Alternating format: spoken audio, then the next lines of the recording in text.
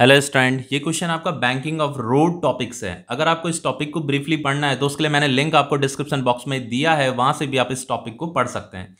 चलिए question start करते हैं। देखिए क्वेश्चन में क्या कह रहा है? इस circular race track of radius 300 metre is banked at an angle of 15 degree देखो, एक सर्कुलर रेस ट्रैक है। ये आपका सर्कुलर रेस ट्रैक है। इसका जो रेडियस दे रखा है आपको 300 मीटर दे रखा है। ये मैंने यहाँ पे लिख रखा है।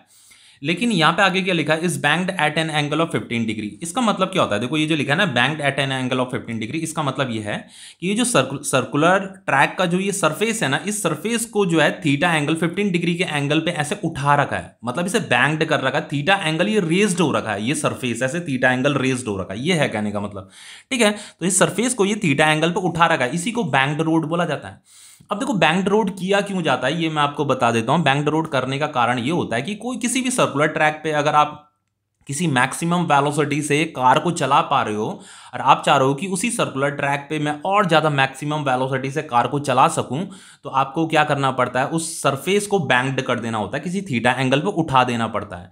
तो रोड को बैंक्ड कर देने से होता यह है कि अब आप और भी ज़्यादा मैक्सिमम वेलोसिटी से उस सर्कुलर ट्रैक पे कार को चला पाते हो। बस ये फ़ायदा होता है इसका, ठीक है? अब देखो आगे क्या लिखा है? If the coefficient of friction between the wheel of a race car and the road is zero point two तो कोफिशियंट ऑफ़ फ्रिक्शन हमें गिवन है तो कोफिशियंट ऑफ़ फ्रिक्शन का सिंबल ये होता है, ठीक है? वो ज़ीरो पॉइंट टू दे रखा है। ये जो कोफिशियंट ऑफ़ फ्रिक्शन होता है, ये कहाँ पे एक्ट करता है? Between wheel of a car and tyre wheel of a car and road road और टायर के बीच का जो पार्ट होता है ना, जो कॉन्टैक्ट में होता है, वहीं का होता है कोफिशियंट ऑफ़ स्टैटिक फ्रिक्शन ठीक है? अब देखो आगे क्या लिखा है। तो देखो यहाँ पे जो हमसे पूछा है ना what is the optimum speed इसे भी बताता हूँ, पहले हम इस वाले पार्ट को नहीं सॉल्व करेंगे, पहले हम इसे कैलकुलेट करेंगे, ठीक है? इसे करने के बाद मैं इसे बताऊँगा आपको, ठीक है? तो पहले हम पार्ट बी को हम सॉल्व कर रहे हैं कि हमसे पूछा है कि what is the maximum permissible speed to avoid slipping देखो किसी भी सर्कुलर ट्रैक पे आप एक मैक्सिमम वेलोसिटी तक ही ये तो बैंक्ड रोड है आपकी। सर्कुलर ट्रैक भी है लेकिन उस सर्कुलर ट्रैक को हमने बैंक कर रखा है। तो इस बैंक्ड रोड पे हम जो है एक मैक्सिमम परमिसिबल स्पीड तक ही कार को आ, कार को चला सकते हैं। अगर हम उस मैक्सिमम परमिसिबल स्पीड को क्रॉस करते हैं तो हमारा कार क्या करेगा? स्लिप होने लग जाएगा। तो मुझे उस स्लिपिंग नहीं होने देना है मतलब उसे स्लिप नहीं होने देना है। अब मुझे उस मैक्सिमम परमिसिबल स्पीड को भी निकालना है। तो उसके लिए जो फॉर्मूला होता है आपका ये होता है formula v max is equal to under root r into g mu s plus tan theta divided by one minus mu s tan theta ठीक है, ये फॉर्मूला है मैक्सिमम वेलोसिटी लेकिन ये जो फॉर्मूला है, ये बैंक्ड रोड के लिए बैंकिंग ऑफ़ रोड का फॉर्मूला है, ठीक है? गलती से सर्कुलर ट्रैक तो होना ही चाहिए, लेकिन वो बैंक्ड भी होना चाहिए मतलब बैंकिंग भी होनी चाहिए उसकी।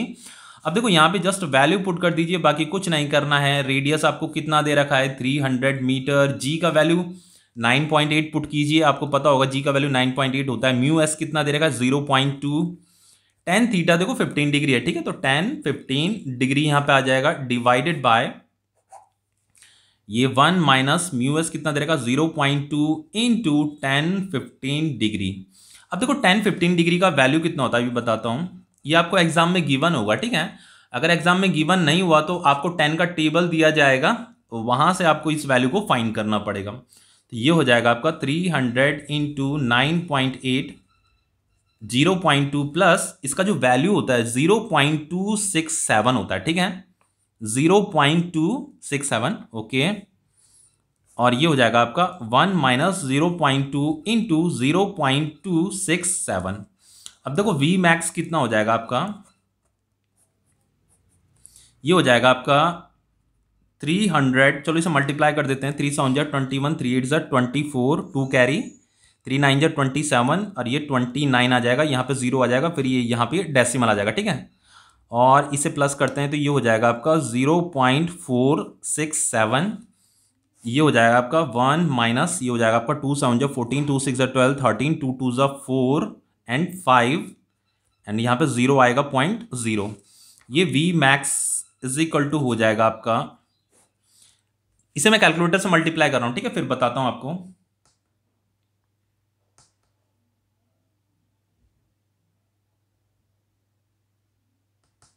ये आ रहा है आपका one three seven two point nine eight और इसकी वैल्यू आएगी आपकी टेन में से फोर गया कितना होगा आपका सिक्स देन अगेन नाइन में से थ्री गया सिक्स फिर ये हो जाएगा आपका नाइन में से फाइव गया फोर फिर यहाँ पे आ जाएगा आपका नाइन फिर ये आ जाएगा ज़ीरो तो इसे मैं कैलकुलेटर से डिवाइड कर रहा हूँ इसे आगे.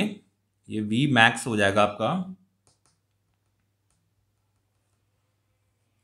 ये आ रहा है आपका under root one four five zero point four three three अब देखो इसका जो अंडर रूट होता है ना इसका अंडर रूट एनसीआरटी ने जो इसका आंसर दिया है, वो ये दे रखा thirty eight point zero eight इसका में से अंडर रूट आता है, ठीक है? मैक्सिमम वेलोसिटी इतना मीटर पर सेकंड आएगा।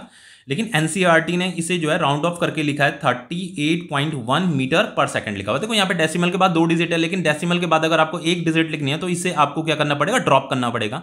ये जो एट है फाइव से ग्रेटर है तो अगर ये एट फाइव से ग्रेटर है तो हम ज़ीरो के साथ वन ऐड कर देते हैं। इसीलिए ये राउंड ऑफ़ करके इस तरीके से लिखा जाता है thirty eight point one metre पर सेकंड अब देखो इसका जो नेक्स्ट ये वाला जो पार्ट है जिसे मैंने कहा था, मैं बाद में कराऊँगा इसे।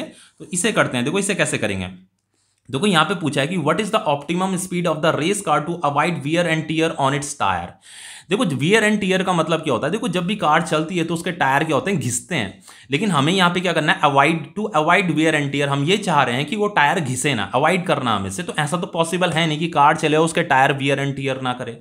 तो ऐसा तभी पॉसिबल होगा अगर हम इस ग्राउंड को जो है फ्रिक्शन लेस कंसीडर कर लें। क्या कंसीडर कर लें? फ्रिक्शन लेस कंसीडर कर लें।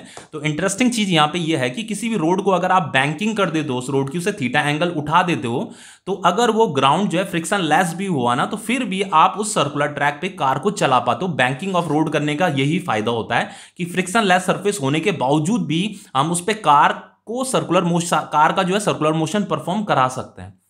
लेकिन यहाँ पे हमें to avoid wear and tear का मतलब यही है कि वो ये चाह रहा है कि ये टायर जो है, वो वियर एंड टीयर ना हो मतलब घिसे ना। तो उसके लिए हमें क्या करना मानना पड़ेगा कि इस ग्राउंड को जो है फ्रिक्शन लेस मानना पड़ेगा। फॉर्मुला यही यूज़ करना हमने।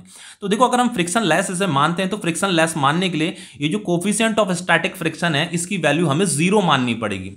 समझ रहे हो? तो ये जो फॉर्मुला इसी फॉर्मुले को मैं दोबारा लिख रहा हूँ यहाँ पे। V max is equal to ये देखो आर इंटू जी है तो ये आर इंटू जी हो जाएगा। ये म्यू एस की वैल्यू बस मुझे ज़ीरो पुट कर देनी है, क्योंकि यहाँ पे मैंने इसे फ्रिक्शन लेस मान रखा है इस सरफेस को, ठीक है?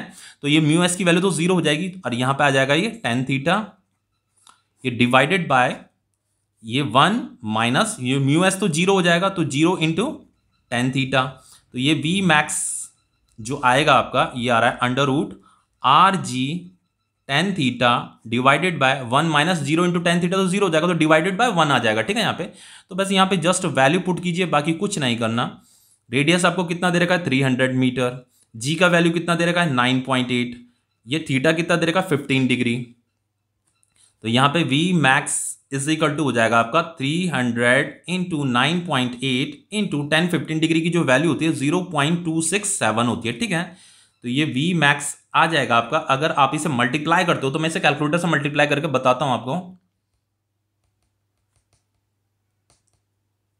ये आ रहा है आपका seven eight four point nine eight और इसका जो अंडर रूट आता है, वो आता है आपका twenty eight point one metre पर सेकेंड तो ये क्वेश्चन आपका कंप्लीट हो जाता है, ठीक है?